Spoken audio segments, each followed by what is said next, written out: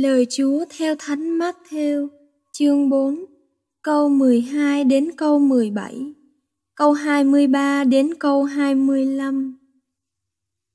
Khi Đức Giêsu nghe tin ông Gioan đã bị nộp, người lánh qua miền Galilee, rồi người bỏ Nazareth đến ở Ca Phác Na Ung, một thành ven biển hồ Galilee thuộc địa hạt Giơ-vu-lun và Naphtali để ứng nghiệm lời ngôn sứ Isaiah nói: Này đất dơ vu lun và đất Naphtali, hỡi con đường ven biển và vùng tả ngàn sông giođan hỡi Galile, miền đất của dân ngoại, đoàn dân đang ngồi trong cảnh tối tăm, đã thấy một ánh sáng huy hoàng. Những kẻ đang ngồi trong vùng bóng tối của tử thần, nay được ánh sáng bừng lên chiếu rọi. Từ lúc đó, Đức Giêsu bắt đầu trao giảng và nói rằng: Anh em hãy sám hối, vì nước trời đã đến gần. Thế rồi Đức Giêsu đi khắp miền Galilee, giảng dạy trong các hội đường, rao giảng tin mừng nước trời và chữa hết mọi kẻ bệnh hoạn tật nguyền trong dân. Danh tiếng người đồn ra khắp xứ Syria. Thiên hà đem đến cho người mọi kẻ ốm đau, mắc đủ thứ bệnh hoạn tật nguyền, những kẻ bị quỷ ám, kinh phong, bại liệt và người đã chữa họ.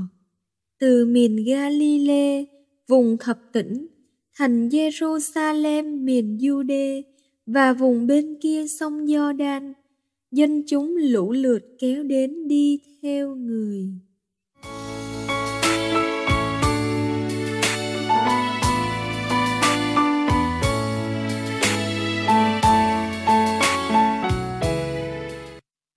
Quý vị và các bạn thân mến, với việc cử hành thánh lễ Chúa Hiển Linh, Hội Thánh chiêm ngắm hình ảnh Chúa Giêsu tỏ mình ra cho muôn dân. Do An Tiền Hô, người đi trước dọn đường cho đấng cứu thế, đã bị tống ngục. Điều này không làm cho Chúa Giêsu sợ hãi, từ bỏ con đường Chúa Cha trao cho người. Nhưng người tiếp tục hoạt động cách khác. Người rời bỏ Nazareth đến ở miền duyên hải thành Ca Pháp Na Ung, giáp tranh đất Zabulon và Naphtali. Việc người lui về Galile không phải để lãnh tránh, nhưng để danh nơi đây, những người ngồi trong tối tăm của sự chết cũng được thấy ánh sáng huy hoàng.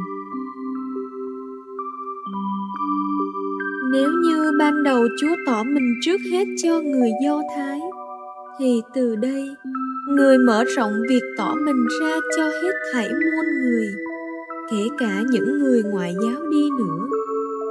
Chúa Giêsu như là ánh sáng cuối đường hầm cho người lạc lối, cho người trong đêm đen của biển cả thấy được ánh hải đăng mà về đến bờ bình an.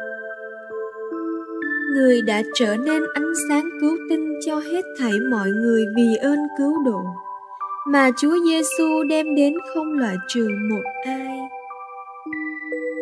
Vậy, trong năm mà giáo phận Phú Cường chúng ta đề ra chủ đề Hiệp thông loan báo tin mừng, chúng ta cũng hãy trở nên dụng cụ trung gian để ánh sáng tin mừng hồng ân cứu độ của Chúa Giêsu cũng đến được với anh chị em lương danh, những người đang khao khát tin mừng Chúa soi chiếu.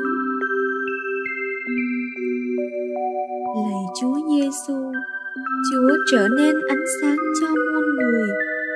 Xin cho anh chị em tín hữu chúng con đừng trở nên những áng mây ngăn cản ánh sáng Chúa đến với người khác, nhưng luôn biết sống hiệp thông, giúp cho ánh sáng tin mừng cứu độ của Chúa lan tỏa đến khắp ngang cùng ngõ hẻm. Amen.